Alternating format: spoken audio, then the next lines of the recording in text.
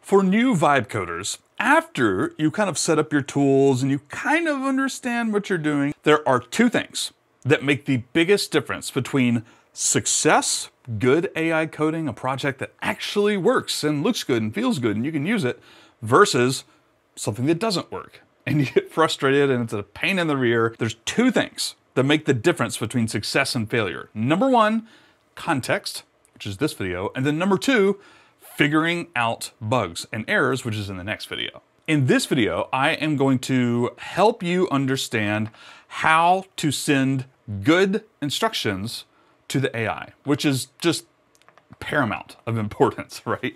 And it's no longer just the prompt. Maybe you've heard prompt engineering before. Well, the cool kids are calling it context engineering. Why? That's because what you actually type and send to the AI is only a small piece of what the AI has as context for whatever it's doing. There are context files, there are other instructions, there are rule files here and there. And uh, in this video, I'm gonna go through how to manage all that. The best practices, I'm gonna kind of give these in like a rapid fire succession for how to get the AI to do good work. So I actually wanna start with the user prompt, the actual prompt, whatever you type into the AI chatbot. You may have heard this before, but bear with me for just a moment.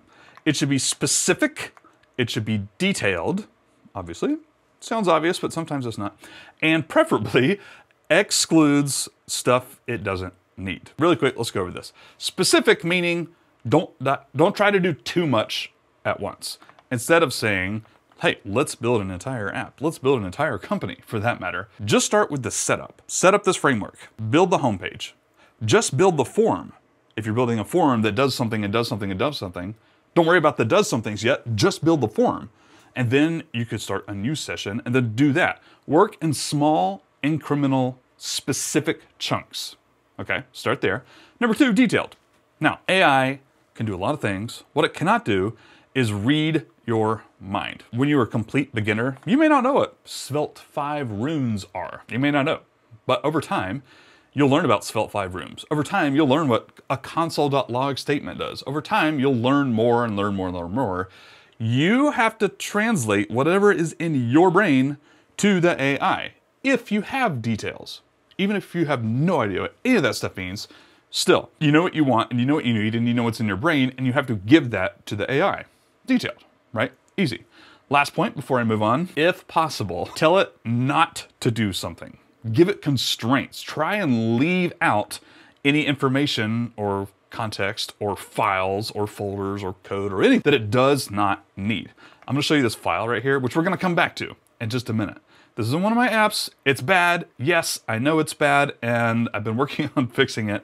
It's almost 3,000 lines of code. That is way too much. As I'm giving AI, hey, fix this one little section, it has to like comb through, it has to search for it. It's, it's a lot, right? Keeping your files small, building out components. We're gonna come back to this, but right now, just remember, try to exclude anything you know it doesn't need. Try to be specific, work on small chunks at a time, try to give it all the details that are in your head, whatever's in your head, you have to give it, and then, if possible, try to give it constraints. Okay, let's move on to talking about context. More specifically, let's start with files. In your code base, in your project, in a folder, in a file, you should have additional context for the AI. In fact, these are like kind of strict with some of these tools. If you use Codex from OpenAI, it relies upon an agents.md file. If you use Claude Code, it is a claude.md file. Uh, in Cursor, it's called cursor rules. If you go to cursor, settings, cursor settings, and then somewhere over here there is cursor rules.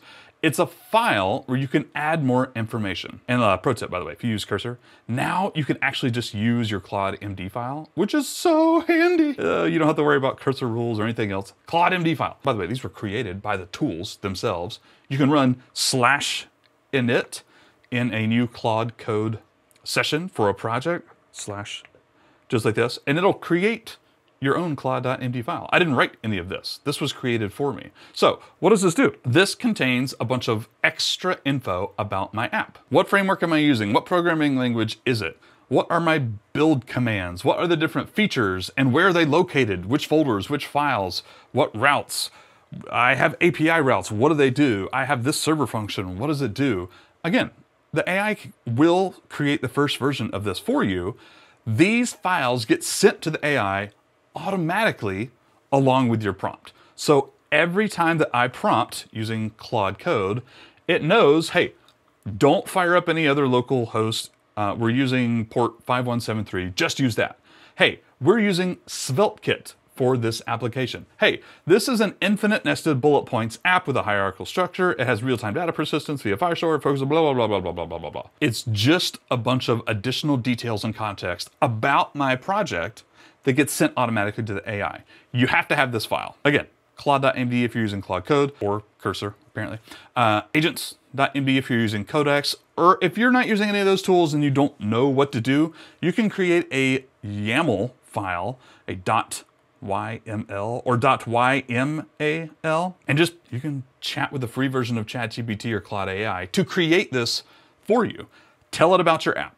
Throw in any details you can think of. I actually have a brand guide, brand YAML right here that has like my colors and some of the visuals and my my preferred styles. And whenever I'm working on stuff, with the AI, I have it read this file. I literally drag and drop it in and tell it, hey, look at this file for more context. Of course, you can always add files manually as context. In fact, most of the time the shortcut is the at symbol, and you can add all sorts of stuff to the AI uh, chat window. So if I fire up cursor here, let's say I was working on a new design and I wanted to attach, sort of, this brand.yaml file, I would just drag it over. You can literally just drag files in here in cursor and then boom, it says at, you can see the at symbol right there, and you can see it pop up right here. And now this is synced to the AI. And you can also do, you can do a ton of stuff, really. You can also click this button, search for files, you can do code snippets, you can do docs. That's actually a feature of Cursor, where you can create your own documentation. Uh, get stuff, rules, terminals, active tabs, linter errors. You could attach, quote unquote, lots of different stuff. Oh, by the way, in like URLs. Let's say you were working in Astro, and you had a question about, oh, here we go, documentation, How about islands architecture. You could grab this URL, copy, come over here in cursor and hit paste and watch.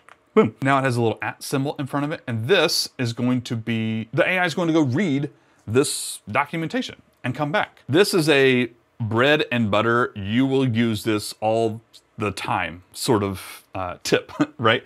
Use the at symbol almost every single time you do a prompt period. Some tools will automatically grab that. For example, if I fire open Claude Code right here and I open this layout.svelte file, and you can see it actually kind of attached, quote unquote, this file right here. It's because I have it open, it's an active window, and so now I'm gonna prompt something, it's going to automatically look in here. This is gonna be sent as context. And you can, of course, do the same thing in Claude Code, at, and then you could do all sorts of stuff, like put these in there, right? A few more really quick tips. Number one, start new chats, start a fresh chat, or clear the current chat often. So all of these AI models have a context window, context window, which is just the amount of information before it can't actually read all the information anymore, right? Like if you sent it a million words, it wouldn't actually analyze all the million words because that's too big for its context window. It might be analyzing only 750,000 words or whatever. And it actually works on tokens, not words, but alas. All of these have a limited context window.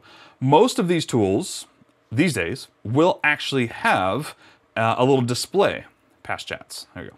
There you go. Here's something I was doing yesterday, and you can see this 21.1% of the context window has been used up, meaning I still have a pretty good ways to go. I can keep going back and forth in this same chat session, and the chat, the AI, will have access to all the previous information. Sounds pretty obvious. But once this starts to fill up even more, boom, you should start fresh. You should start anew. Yes, you might have to include a few more details about, if you're working on the same feature that is, you might have to include some details on what you already did, what the AI already did, etc. You might have to repeat some of your prompt. It's worth it. Do this all the time. In Claude Code, it's actually clear. Let me just pull up in one right here. If I go in Claude Code and actually do slash context, it'll actually print out a little visual thing here I am at 124 out of 200K tokens, 62%. This is a pretty long chat with a bunch of context in there. What I need to do is slash clear, and that'll actually clear it out. Another interesting feature of Claude Code is it will do compact, clear conversation history, but keep a summary in context.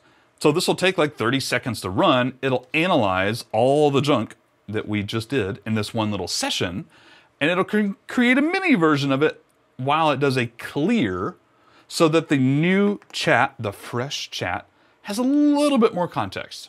I don't actually use compact, by the way. I don't know why. I probably could, I probably should, but I just use clear quite, quite liberally, and then I start over. And if I run context again, this should be absolutely wide open. 77K, 39%. That's probably because it's using some of these uh, tools right here. Actually, it's because it's reserving 45 tokens. Not sure what that is exactly, but alas. One other pro tip that can actually use up your context window, by the way, but it still will be worth it, is to plan the features with your AI, even if it's an AI agent, who usually just goes off and executes and implements on its own. Don't let it do that. You can turn on planning mode for all of these AI tools, really, and it will set a plan which you can review. The important part here is that making sure the AI is going to do what's in your head, what you want it to do. Sometimes I will enter planning mode on Claude Code and it'll actually give me something better than what was in my head, which was fine. I, I didn't know that I wanted that. But yes, now that you mention it, Claude, please go and implement. However, sometimes it'll actually come back with a plan that is like 90% fine, but it has something like, oh, no, no, no, wait, I don't care about that. Don't do that. I don't want that. Then I can tell it right then before it codes anything, hey, great plan, except don't do this one little part. Now go. Now go code. Planning mode is a Claude code. You can see planning mode right here. But you can always enter into ask mode in cursor, or it's the same thing in Codex. I can't actually remember what it's called. Uh, here we go. Agent mode could be uh, chat or plan. So it will use up a little bit more of your context window, but the important part when it comes to prompt engineering is making sure that AI is going to do what you want it to do. So it's always a good practice for every feature ever to plan it first within the little AI chatbot, make sure the plan's good, it is what you want, and then let it go code. My very last tip for you here is to try and not let this happen. As your project grows, you have more pages on your site, more routes, more features, more code. That is obviously just that much more that's going to be sent to the AI. It's going to take up that context window. And it may or may not be details that you want included. Remember when I said try and exclude any information, any context that the AI does not need. One thing that will come naturally that you, you kind of can't control sometimes is your project gets bigger. This 3,000 lines of code, first of all, it used to be 4,000. I'm working on it, I'm getting it down. This is a lot now. The AI has gotten worse because it's having to sort through more stuff. It's a bigger app. There are more routes, there's more code. You just need to be aware of that. When you can, again, try and make it as specific detailed as possible, small chunks. One pro tip here that I've been working through is creating components. I didn't bother with it at first because I was just trying to get the app working, but now I need to take these 3,000 lines and make it 1,000 lines. And I can do that pretty easily just by splitting out some components. If you don't know what that is just yet, AI can mostly do it for you.